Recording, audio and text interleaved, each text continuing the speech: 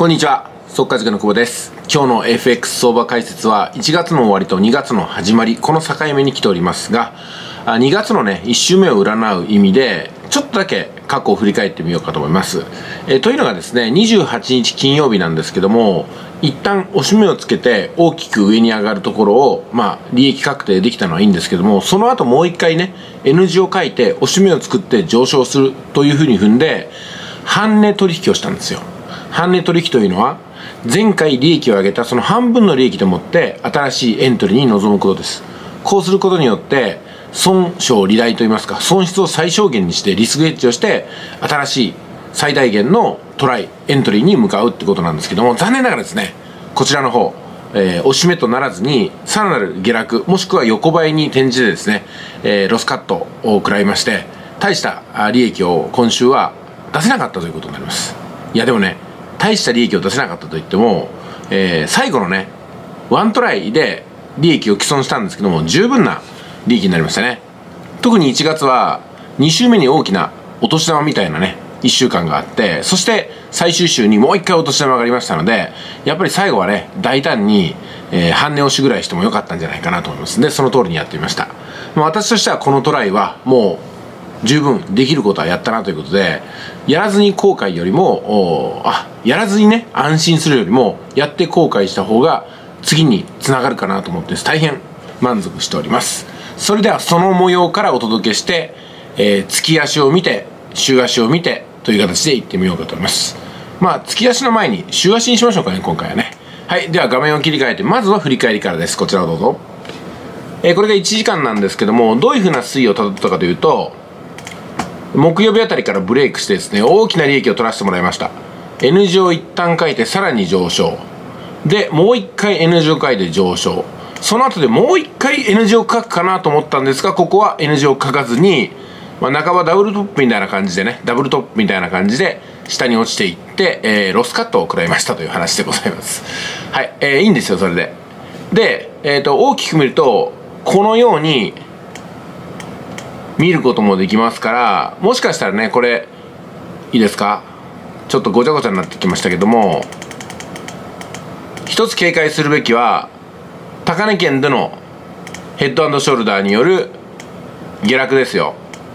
ちょっと真ん中の頭が潰れたような形になってますけどもこういう形の時には常にねヘッドショルダー高値ではもうヘッドショルダーを警戒するわけですよ。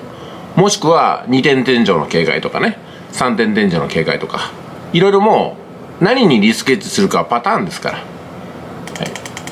い、でこの後の動きなんですけどもここに揃って横ばいに行くのか。そういうことも考えられますね、うん、今のところその辺にしておきましょうか。詳しくはね月曜日相場が空いた時にまた解説しようかと思います、うん、どっちにしても最後のワントライはまあ余計って言えばね結果論で言えば負けましたけどもでも何回この画面が現れても私はエントリーすると思いますね。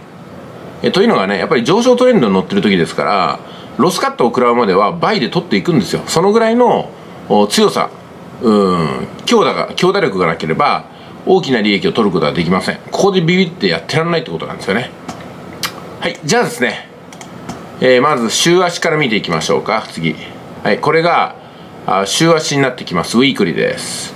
週足を見ていくとくしくもですねこの辺りに1時間足で作った5本のレジサボラインがありますけどもそれをまとめると横ばいのレンジが見て取れますね。下から入ってきたのがここで釣り合ってるって感じです。で全体的に見ればこの週足は強い上昇トレンドです。なんで強いかっていうとここも超えてるからなんですよ。ね。この高値をぶち抜いて言ってるわけですからこの上昇トレンドは強いですよ。しかも昨今の世界情勢これファンダメンタルになりますけども考えると120円までは突っ込んでいってしまうんじゃないかなと。これからとてつもない円安の時代に入り輸入品が高い。そして私たちはこの物価高騰による利上げこれにねあえぐことになります。で FX をされてる方は世の中の物価が高くなっても相場で勝つことができますその分。ね、物価が上がれば結局は私たちの輸入産業ですからあ円安を考えることができるんですよね。ですんで片っぽで利益を上げながら世の中の物価高にも対応できるということになります。はいちょっと余計なことをお話しましたね。じゃあ次はデイリー見ていきますよ。これがあデイリーです。えっ、ー、と前回お話したのがここ。ね。ここが生きていますよってことでした。115円の430ですね。でさらに下のずいぶん前に引いたライン。113円の600もやっぱ生きてるでしょ？やっぱここが正解だったわけですよ。何度も言いますけども。ここまで落ちてくるのがしっかり取れたというのはね大きなお年玉週間だった。2週目のことを思い出させると思います。でここから一本木に上がってきてロスカットを食らったところでお年玉が第2弾が終わったということになりましたね。でここからは上昇すると思うんですけどもまだ確定的ではないんでエントリーを見ているってことですよね。特にロスカット食らった直後ですから来週は月の変わり目にもなりますんで31日月曜日1日の火曜日ここはですねエントリーをもうしない勢いでちょっと控えて相場を見るようにしていきたいと思います。4時間終わりですね。で次4時間を見ていきます。4時間はダブルボトムからの急上昇がまあ振り返ったらね確認できるなってことですよね。でこれがヘッドショルダーの4時間の形そのまま取ってるじゃないですか、うん、で、えっと、下落が始まったところが結局ここと似てますよね。これがね。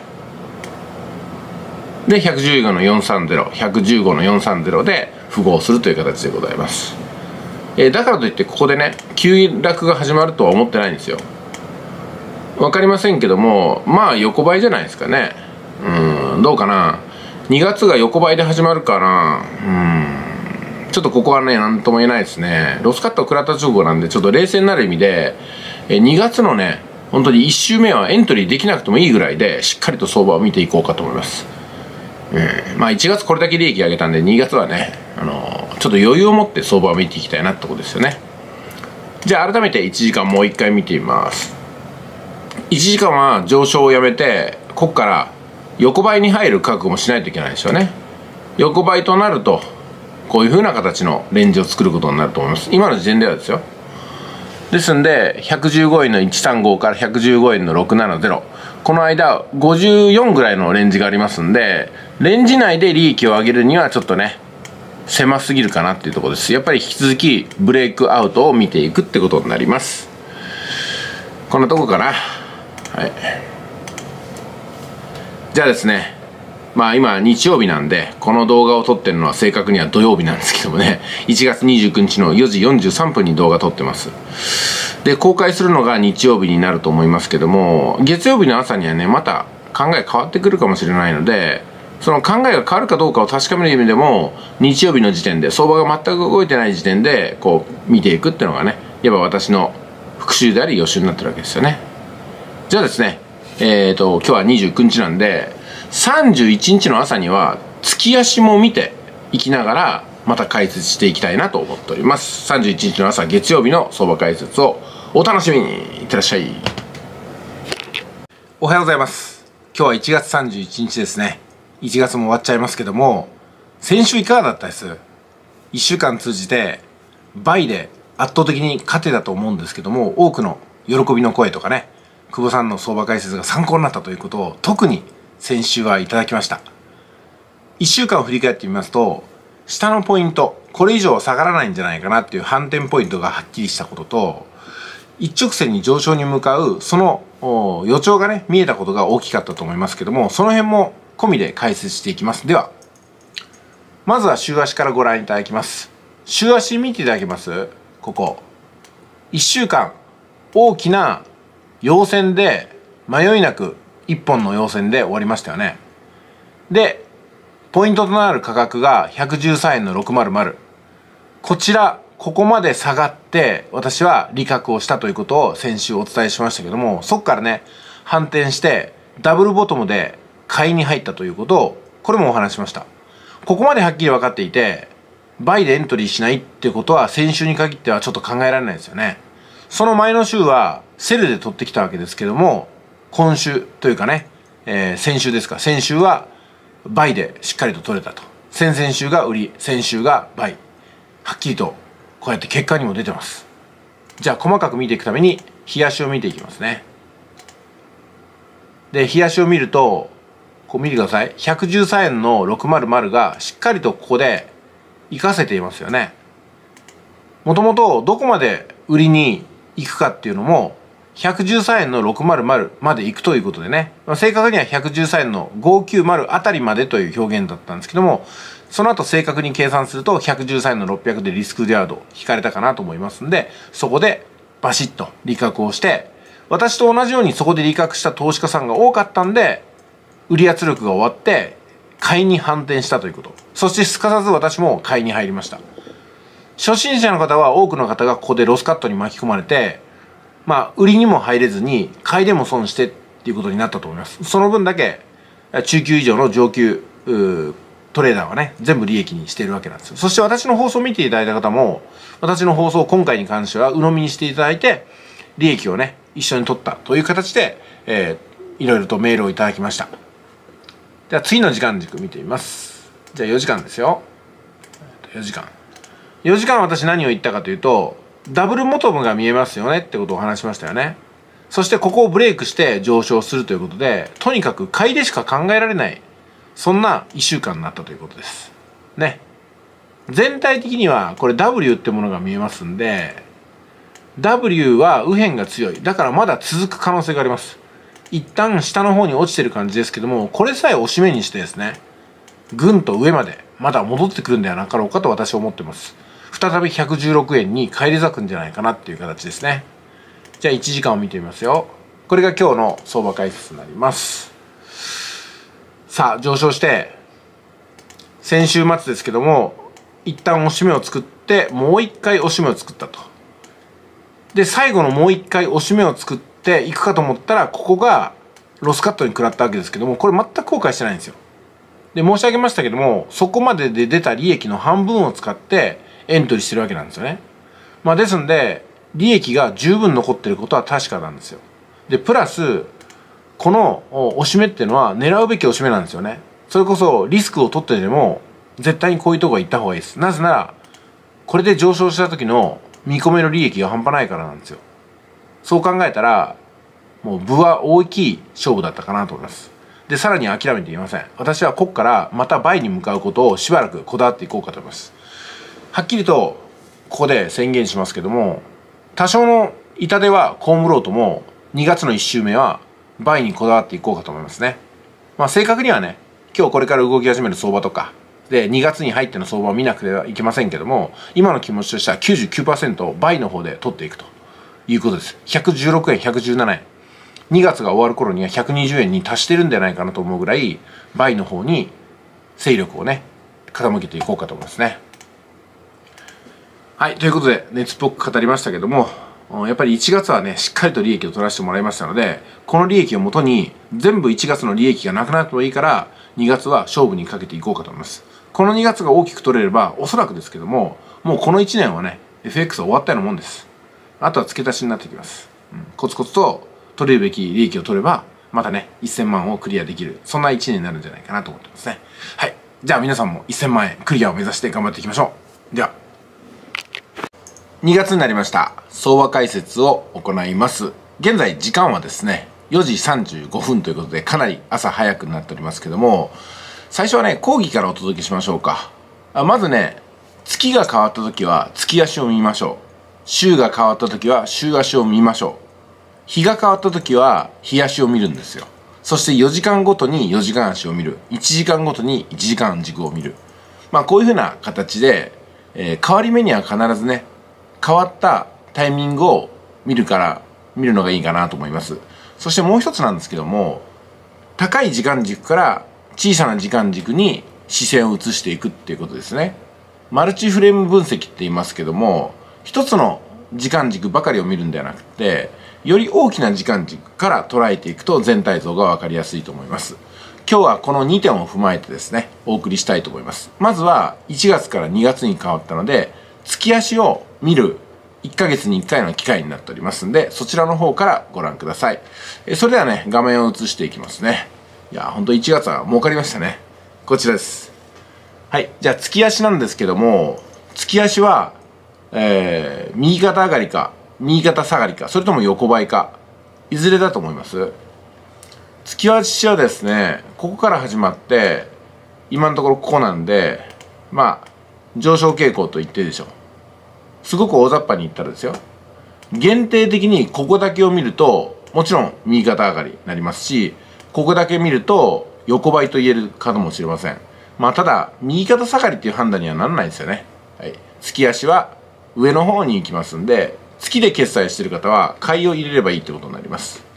まあ月間決済ってあんまり FX ではないですけどもね。今日エントリーして1ヶ月後に決済でしょ。なかなかないですね。はい。じゃあ次週足を見ていきますね。週足はこれまた右肩上がりだと思います。まずここから始まってここで終わってるわけですから。まあどっから切り取っても右肩上がりですよね、まあ、ですんで週足は買いで見ればよろしいかなというところでございます。ね。この補助線がだいぶ集中してますよね、うん、はい次日足ですね。まあ日足は日々見ている方が多いと思います。はい。日足も文句なしの右肩上がりです。この辺から始まったローソク足がここで終わってますから、うん、あとはね限定的に見るなここで横ばいを感じることができると思いますけどね。うん。冷やしは買いで入れてください。だから買いでいくってことはちょっと今ね下の方に行ってますけども押し目を作ってここをぶち抜くようなね高値の切り上げを見せてくれるんではないかなっていうふうに期待するわけなんですよ。で4時間を見ていきます。4時間になってくるとだいぶ変わってきますよ。4時間はほらここから始まってここで終わってるでしょ。だから右肩下がりと言えるんですよ。ただダブルボトムを作って急上昇してきたところなんで一旦押し目を作って例えばね114の732のポイントから反転していくってことは十分考えられます。もしかしたら114の519かもしれませんね。ここかもしれないですね。ここかもしれないかなと。いろんな防衛ラインがありますけどもトリプルボトムを引いての急激な上昇。これも見とかなくてはいけません。今のところはだから4時間は右肩下がりになってると考えればいいと思います。それは1時間です。1時間はねちょっと訳ありなんですよ。これね下って書いてるでしょ？1時間下。でも全体的に見るとこれは右肩上がりなんですよ。で限定的に見ると横ばいなんですよね。こういうふうな複雑な要素が絡み合ってますけどもなんでね一見右肩上がりに見えるこの1時間軸を私はこうやってアスタリクスクをねここに用いて下にしてるかっていうとねここがすごく肝心な解釈です。ここは私の解釈になりますけどもあのこれが押し目ならここで止まってるはずなんですよ。でこういうふうに上がっていく予兆を見せてますけども本来ならね。ここ突き破りましたからね。突き破ると今度の抵抗体はこのポイントになります。114円の732だから1時間で行くならそこまでは下落かなと思ってるんですよね。長い目で見ると上昇に行くと思いますけどもそうなると1時間じゃなくて4時間の理屈になっちゃうんですよ、まあ、ですんで1時間で取引する場合はここからはセルで入るのが正解かなというのが結論になります。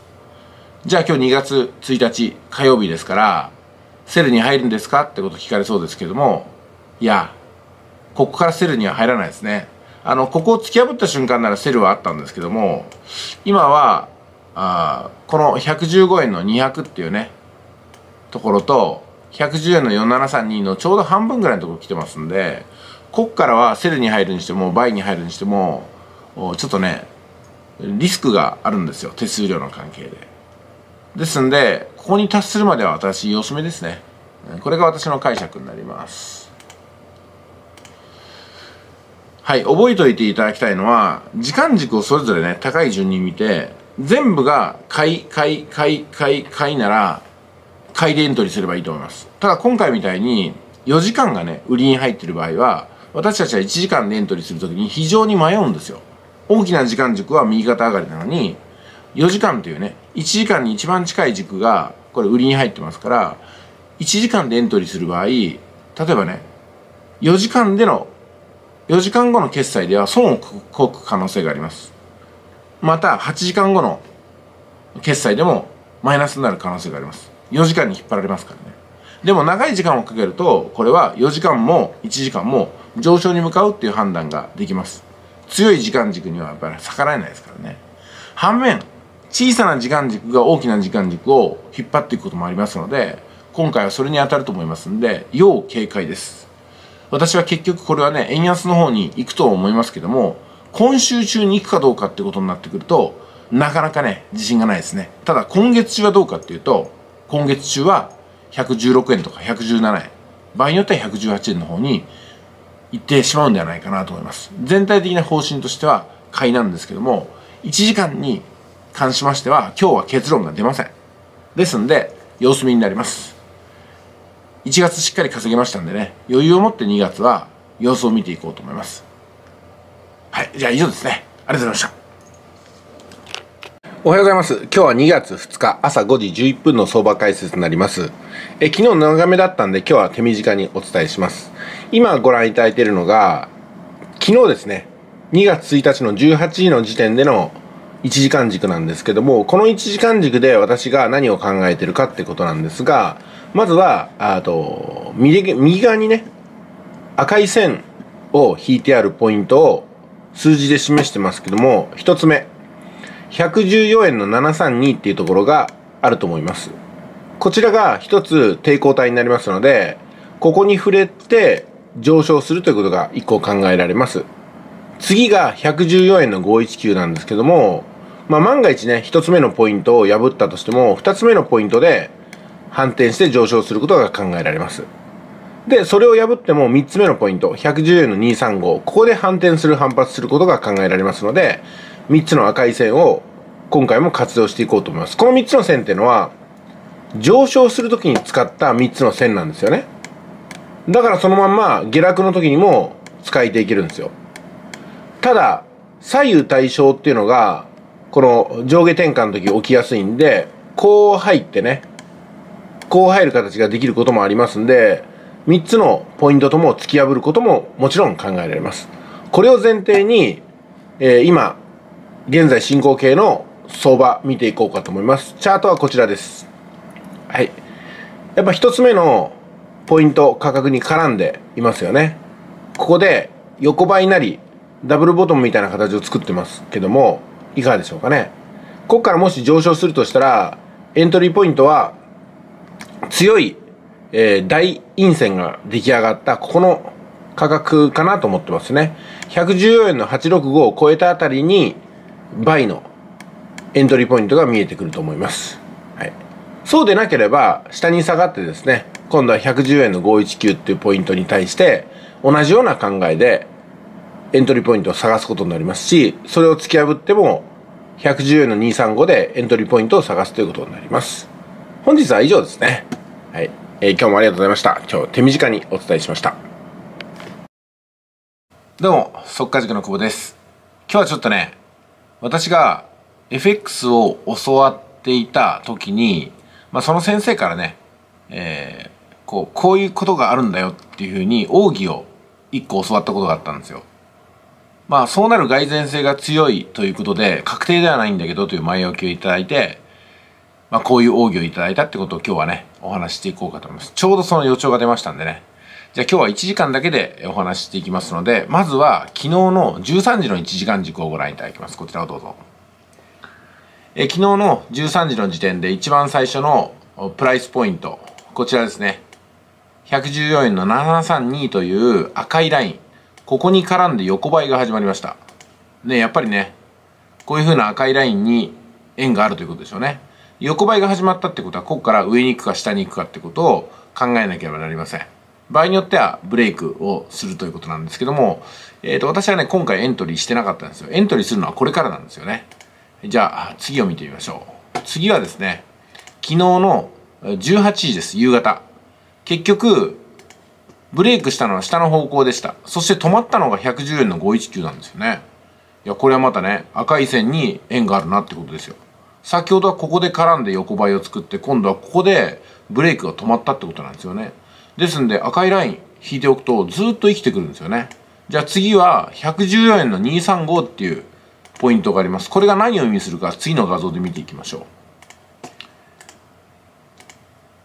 はい、これがね、2月3日の朝5時ですけども、114円の235で、えー、ここからね、横ばいで始まったブレイクが止まりましたね。まあ、ですんで、えー、もしかしたら114円の732をブレイクして下に行った時点でエントリーできた方がいたかもしれません。で、今日のテーマはね、しかしね、そこではないんですよ。もちろん昨日114の732もしくは114の519でセルで取れた方はおめでとうございますなんですけども私はすいませんエントリーしてなかったんですよ。で、今朝5時まさにね今2月3日の朝5時なんですけどもこの時間で見てみますとすごく今日のテーマでいう特徴が出てるんですよ。それがここです。どんな特徴かってことをクローズアップしてお話しますね。これです。はい。ちょっと左上の方に固まっちゃいましたけども、中央黒い四角で囲んである4つの陰線と陽線の並び4本ありますよね。陰線、陽線、陰線、陽線という4本。4本で形作られるこのロウソク足をちょっとね、えー、覚えておいていただきたいんですけども、下がピシッと揃ってますよね。これが一つポイントなんですよ。で、最後、陽線で終わってるでしょ。この4本が並んだ時って、上の方に跳ねることが非常に多いらしいです。で、今まで私も体感としてはそうだったんですよ。で、逆にですね、同じような形でも、陽線、陰線、陽線、陰線で、陰線で終わる場合は下の方にズバッといくんですよね。さあ、この4本の並びを覚えておくと結構使えるんですよ。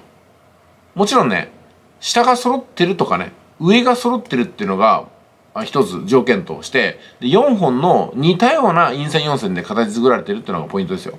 そうなるとここどうですか？下がピシッと114の235で揃ってますよね。ここ。揃っていて、陽線、陰線、陽線、陰線となってます。まあ上の方はちょっとばらつきがありますけども、ここで私が言えるのは、何かっていうと、よし、倍で入れよってことなんですよ。倍で。上の方に行くぞってことなんですよ。そのメッセージをこの4本から感じたんで、他の方はね、あの、おそらく上級者でもない限り、ここには気づかないと思いますし、こういうのを使わないと思いますけども、今回私はこれに乗ってみようかと思います。1個前に戻ります。現在の時間軸ですね。左右対称になるということがあります。というふうに前置きをしましたけども、まさにこれ左右対称に近い形になってますよね。で、ここからどういくかってことなんですけども、つまりはこれダブルボトムがまた来たんではないかなってことが考えられるんですよ。で、1時間でのダブルボトムね。先日4時間でのダブルボトムを私お話しましたけども、あそこから上の方にブレイクしたでしょ。今度はここなんですよ。1時間でのダブルボトム。そして4本のこの奥義とも言える並び。これを知ってる人はあんまりいないんですよね。えそして知っていてもあんまり目にすることがないんで、確かめることがあんまりできないんですよ。で、今まで私がね、えー、5年間 FX をやってきて、確かにこうなる蓋然性が強いなというところで今回も使っていこうかと思うんですよ。すなわち、上ですね。つまりですね、ここに来て、ちょっと本来のチャートを持ってきましょうか。これが同じ1時間のチャートなんですけども、デイリー見てください。デイリーは右肩上がりだったでしょ？うん、あの流れが。で、4時間はどうだったですか ?4 時間も右肩上がりの流れ。ダブルボトムからあ折れ曲がって、いろいろと話しましたけども、迷っている状態なんだけども、でも右肩上がりというふうにお話しましたね。で、1時間がついに右肩上がりの予兆を見せてるわけですよ。この図だけ見ると右肩上がりじゃないですよ。でも、2つの要因、ダブルボトムと4本の陰線4線から、ここから上昇するというふうに考えることが私はできるんですよね。で、多くのトレーダーさんはこれがなかなか考えられないのと、もちろん今回そういう予測を立てたからといって外れることはあります。ただ私は今回みたいな条件が揃った時は必ず倍を入れてますね。それで、えー、勝ち抜いてきましたんで、今回もそれに習っていこうかと思います。というのが今日の、えー、相場解説になります。今日はね、あのー、他のトレーダーさんではなかなか言えないことだと思いますんで、もちろんね、そうならない可能性もありますよ。ですけど私は今回倍を入れるということで、倍で、えー、2月3日節分をですね、乗り切っていこうかと思います。これが当たればかなり大きな利益になると思いますけども、外れればロスカットを食らって、まあ、5、6千円の損になるかなってところですね。じゃあ行ってみましょうか。おはようございます。2月4日の相場解説になります。時間は朝5時ですね。あの、FX の上級者、中級者、初級者を分けるものとしては、一つにはね、知識の量があると思うんですよ。例えば昨日お示しした上昇の特徴っていうのは、あのローソク足4本で構成されている特徴になるんですよね。でも通常こんなところまで知ってる人はいません。でも上級者っていうのはこういうところも気づいて取りこぼさないから上級者なんですよね。だって中級者以下の方はこんなこと気づきませんしそもそも知らないんですよ。そして知っていたとしてもエントリーする勇気は出ないと思います。というのが私もね56年この知識を知りながらずっと見ていったから確かになってことが確認できているだけなんですよ。まずはだからチャートの特徴とかフォーメーションを知っておくこと。これが大前提になります。だから一番最初初級編の時に知識をとにかく詰め込んでいただきたかったんですよね。えそしてその知識があった上でチャートを見ることによって確かにそうなってるよねっていうのが何回も確認できるから最終的第3段階目にはお金を入れる度胸ができるわけなんですよ。この経路を使っていただければもう私の解説なしにでもねしっかりと稼げるようになると思います。ただですね私の解説を見ながら聞きながら参考にしながら利益を積み増していくってことをまずは体験していただいて確かにそうなるよねっていうそういうふうなねケースをね積み重ねていくことも一つの経験になりますのでまずはね解説付きでの自分の判断こういったものに対して自分の資金を投じていくってことを繰り返していただきたいと思います。それでは昨日の検証をしていきますので動画の方をご覧いただきたいと思います。こちらです、え2月3日のことですけども昨日お話したようにね昨日の朝の解説でお話したようにこの4本のローソク足の特徴陰線陽線陰線陽線の後では上昇になるんだよってことをお話しました。そしてこの図では切れちゃってますけどもあのダブルボトムなんですよね。左の方もなくなってますけどもダブルボトムの2つ目がここに来ていて1つ目がこっちの方にあるわけですよ。ですんでここから上昇を考えてもいいかなと。いう理由2つになったわけですね。プラスで言えば大きな時間軸は総じてプラスの方に向かってます。右上がりですよね。右肩上がりに向かってますからまあ自信を持って私はねエントリーができるかなと。高い確率で倍に入るかなと思ったところ、えー、昨日の夕方17時30分の時点でこうなっていましたよってことですよね。まさに114円の235っていう赤いラインを引きましたね。ここから始まって上昇してですね。ここでエントリーがどんな方でもできたってことです。昨日の朝の解説を聞いていれば上昇していってるのを確認して114円の519でエントリーできたでしょ？ buy でエントリー。そこでそれがね今この図に書かれています。 buy でエントリーできますよねって。目標値は114円の723をとりあえずの目標値にしてください。20 pips 狙いです。さあどうなってるでしょうか？ちょっと時間をね進めていきますよ。はいえっと2月4日の深夜2時です。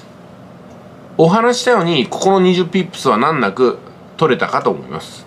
その上でまだ上昇が続いてますので上昇をさらに追いかけていくかそれとも一回ねエグジットして利益確定をこの 20, 20 pips でしてで取った利益の半値でさらに追っかけていくのかっていう選択もありますよね、まあ、ですんでこれはねどこまで上昇を目論むかと言いますとここですからね。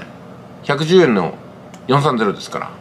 まだまだ上幅があるわけですよ。